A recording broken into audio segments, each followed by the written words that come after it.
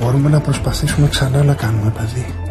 Κάνει ταχυκαρδία και πέφτει ο κορεσμός. Το διασωληνώνουμε. Γρήγορα. Είναι εδώ μαζί μου. Ένα, δύο.